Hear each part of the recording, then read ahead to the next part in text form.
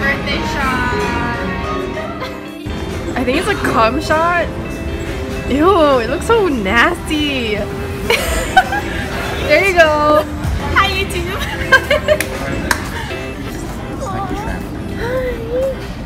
I wish I could take you home. Yeah. Oh, there's another one right there. Yeah. You didn't see him? Oh. Sleeping. Sneaky.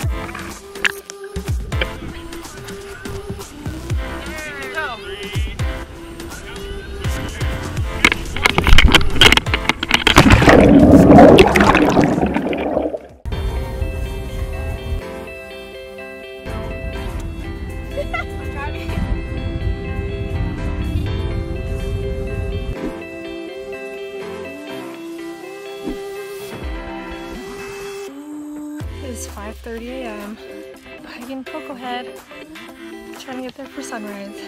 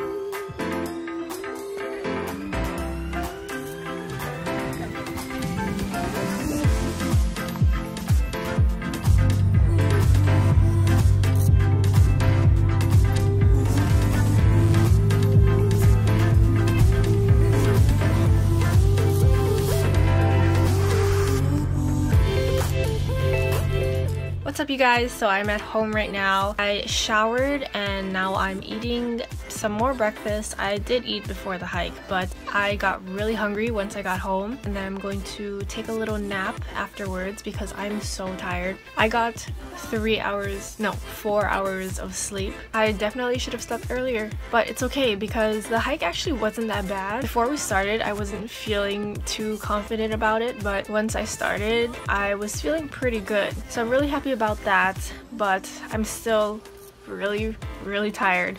So i'm gonna finish eating and take a big fat nap and i'll check in with you guys later. It's national ice cream day so we got free cones from mcdonald's. It's so good when they fill it all the way down to the bottom. Yeah